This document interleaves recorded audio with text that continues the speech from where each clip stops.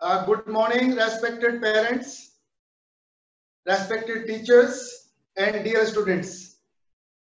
आज मैं आपके बहुत सारे क्वेश्चंस का जवाब देने वाला हूँ आपने बहुत सारे क्वेश्चंस पूछे हैं न्यू एजुकेशन पॉलिसी 2020 के बारे में बच्चों ये न्यू एजुकेशन पॉलिसी डॉक्टर के कस्तूरी रंजन जी ने बनाई है, जो फॉर्मर इसरो के भी चीफ रहे हैं और जेएन यूनिवर्सिटी के चांसलर भी रहे हैं। बहुत नॉलेजेबल पर्सन है। उनकी अध्यक्षता में ये एनईपी 2020 ड्राफ्ट की गई है। और अभी कैबिनेट ने इसको अप्रूवल दे दिया है। अब बहुत सारे क्वेश्चंस इसमें हैं। इसमें कोई शक नहीं है कि हम लास्ट थर्टी फोर ईयर से इसका इंतज़ार कर रहे थे। ये इंडिपेंडेंट इंडिया की थर्ड एजुकेशन पॉलिसी है। इससे पहले फ़र्स्ट 1968 में बनी थी और दूसरी 1986 में। अब ये थर्ड 2020 में बनी है।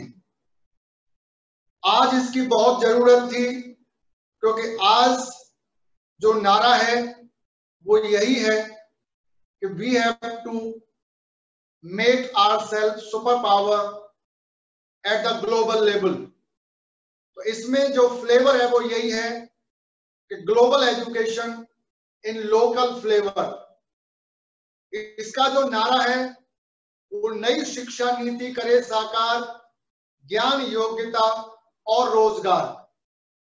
इसका जो एम है, वो है to make India a global knowledge super power. मुझे पेरेंट्स ने क्वेश्चन पूछा what does NEP 2020 mean and why this change is necessary respected parents NEP means national education policy 2020 और ये ज़रूरी क्यों थी? 34 ईयर पहले हमारी एजुकेशन पॉलिसी बनी थी। उसमें बहुत सारी खामियाँ थी और हमें इसका बहुत लंबे समय से इंतज़ार था। आज हमारे बच्चों को सबसे ज़्यादा ज़रूरत है हेल्थ की। सबसे ज़्यादा ज़रूरत है रोज़गार की, उनके विकास की। और ये एजुकेशन जो पॉलिसी आई है, इसका बेसिक थीम यही है।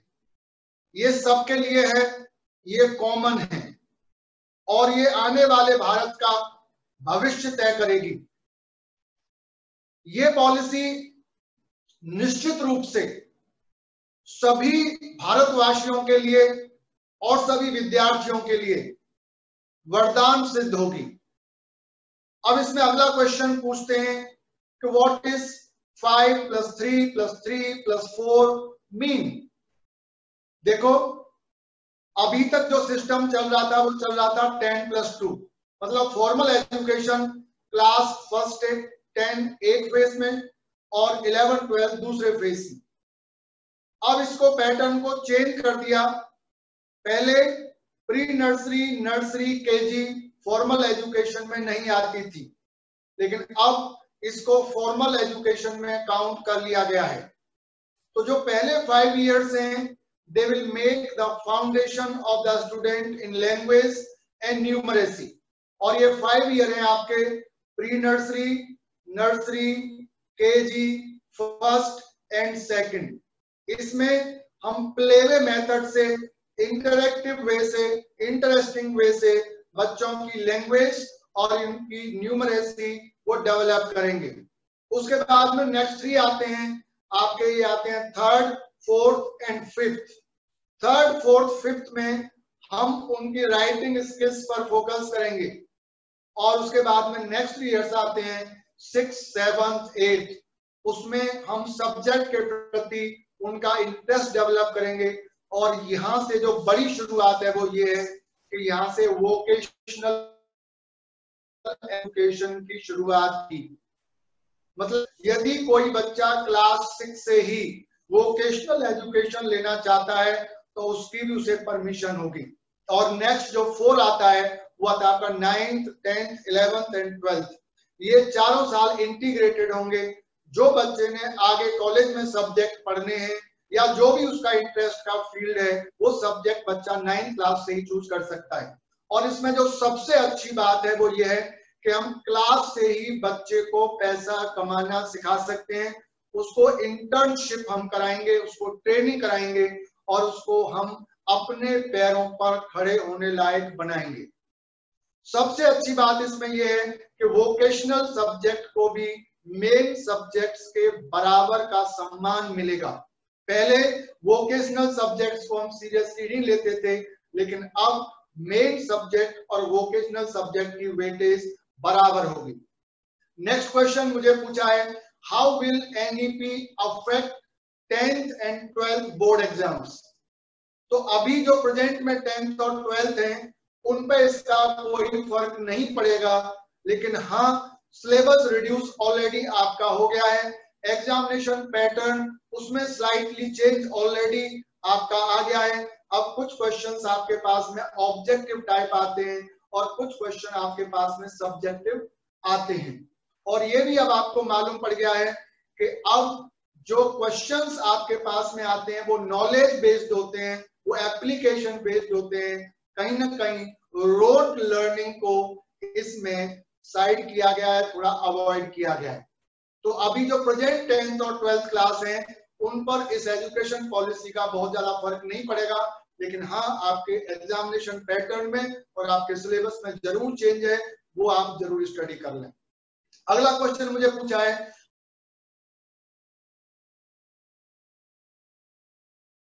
How will how and when students will select the stream of their choice class six से आप अपनी सब्जेक्ट ले सकते हैं और जो स्ट्रीम है, अब स्ट्रीम को एबॉलिश कर दिया गया है।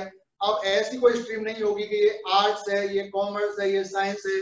अब स्टूडेंट्स की चॉइस है, उसे फ्रीडम है। वो जो सब्जेक्ट पढ़ना चाहे, वो सब्जेक्ट पढ़ सकता है।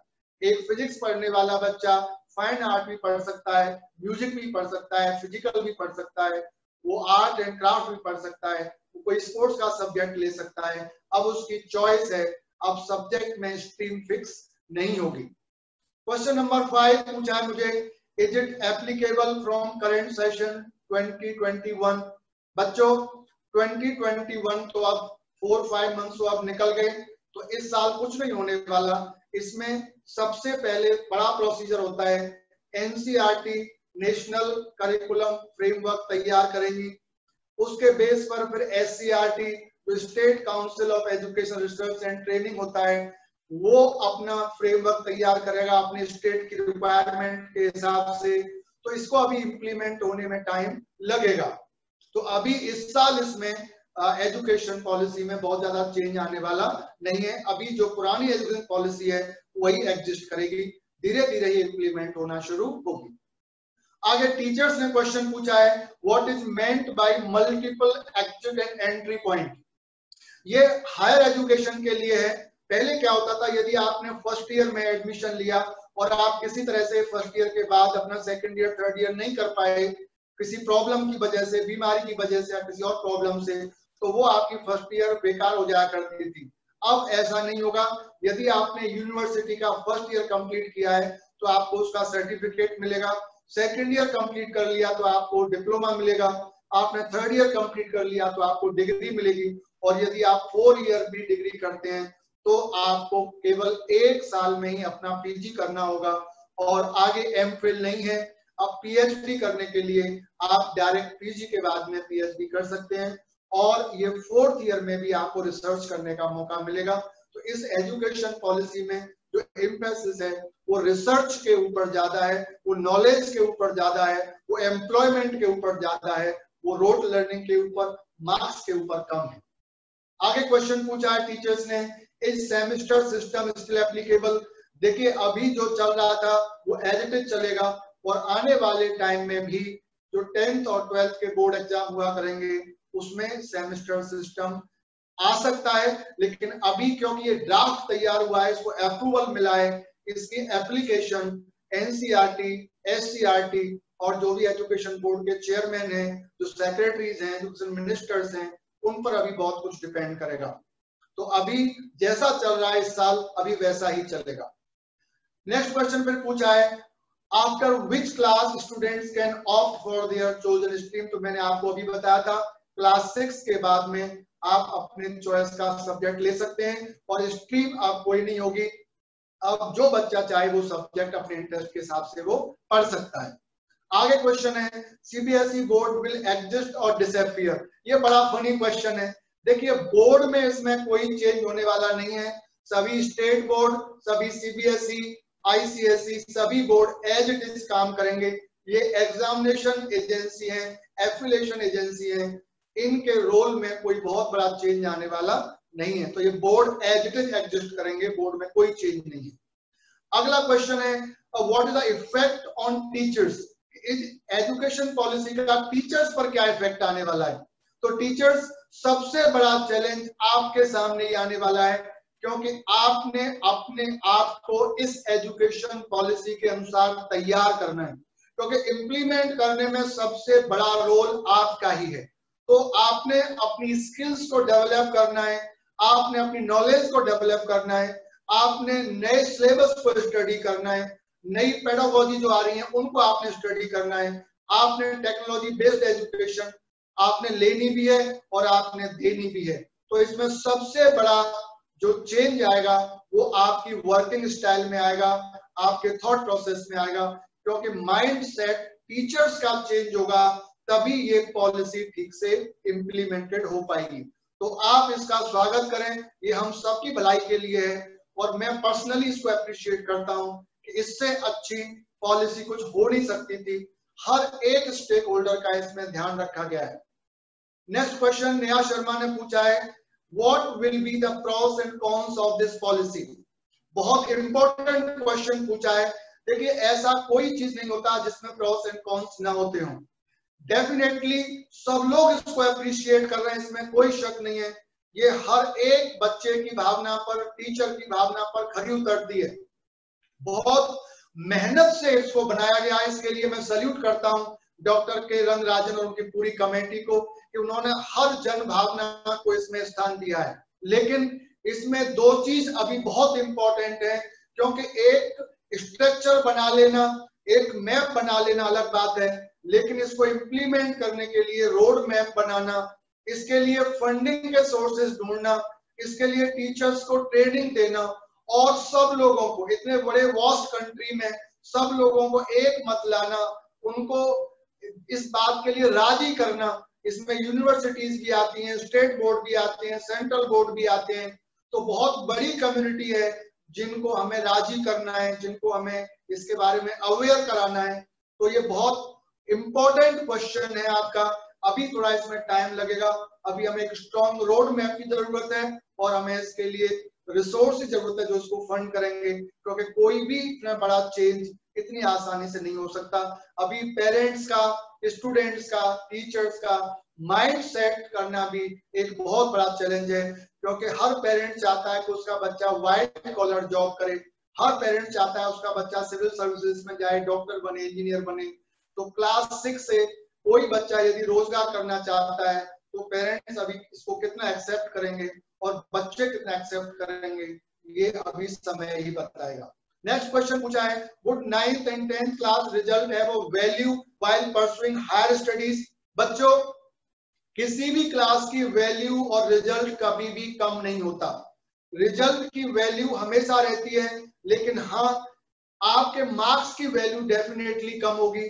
अब आपको नॉलेज पर ध्यान ज़्यादा देना होगा प्रैक्टिकल पर ध्यान ज़्यादा देना होगा और अब आपको एप्लीकेशन बेस्ड नॉलेज लेनी होगी जिसको आप अप्लाई कर सकें रियल लाइफ अप्लाई कर सकें, जो आपके लिए, आपके जॉब में आपको सपोर्ट कर सके। और नेक्स्ट क्वेश्चन पूछा है, साक्षी कुमारी ने क्लास ट्वेल्थ से what is three language formula बच्चों, आपने क्लास सिक्स सेवंथ एट्थ में फिफ्थ से शुरू हो जाता है। थ्री लैंग्वेज स्टडी करना मैंडेटरी होता है। जिसमें आप एक लोकल लैंग्वेज अपनी पढ़ सकते हैं, आप हिंदी पढ़ते हैं और आप इंग्लिश पढ़ते हैं। तो हर एक बच्चे के लिए तीन लैंग्वेज पढ़ना बहुत ज़रूरी है। और इस पूरी एजुकेशन पॉलिसी में इस बात पर बहुत ज़ोर दिया गया है कि हमें ग्लोबल एजुकेशन देनी है लोकल फ्लेवर में।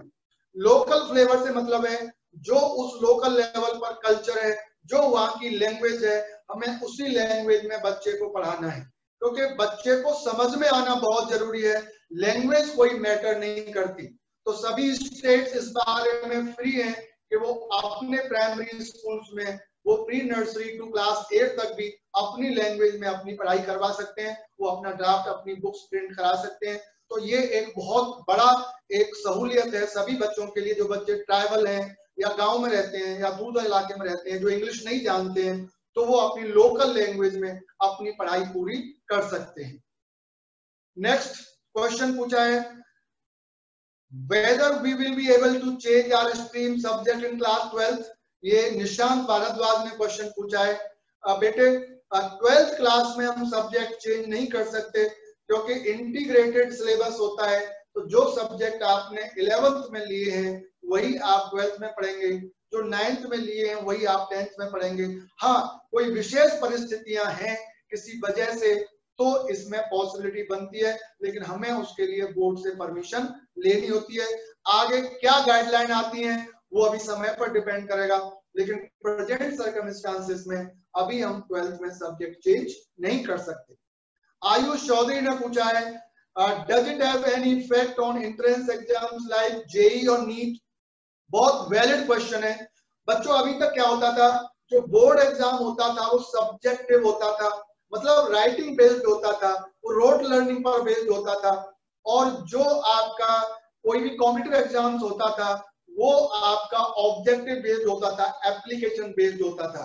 तो अब इन दोनों को क्यूमुलेटिव किया गया है। जो आप कॉम्पिटिव एग्ज़ाम में करेंगे, वही आप अपने बोर्ड एग्ज़ाम में करेंगे। तो बोर्ड एग्ज़ाम भी अब दो भाग में डिवाइड होगा सेमिस्टर में भी डिवाइड होगा और एक पेपर आपका हो सकता है ऑब्जेक्टिव हो और दूसरा पेपर आपका सब्जेक्टिव हो या क्वेश्चन पेपर आपका दोनों का मिक्सड हो, जैसा अभी भी आपके सामने आ रहा है।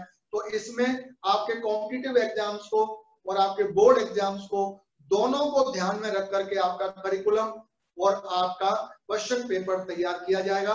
तो डेफिनेटली आपको आने वाले टाइम में इसमें सहूलियत ज़रूर मिलेगी। बच्चों एजुकेशन पॉलिसी पर डिपेंड करता है भारत का भविष्य। और भारत का भविष्य कहाँ रहता है? वो स्कूलों में रहता है।